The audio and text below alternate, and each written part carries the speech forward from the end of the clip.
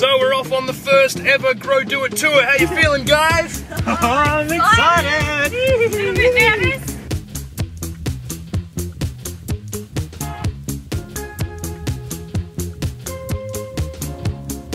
We are heading to our first school, Dimboola Primary.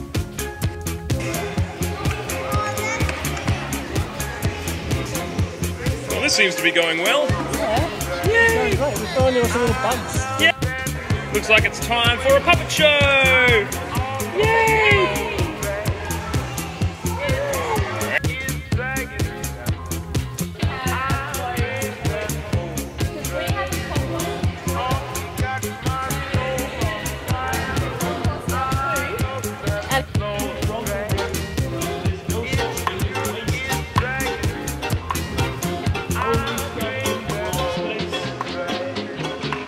Beulah Primary School, how you feeling?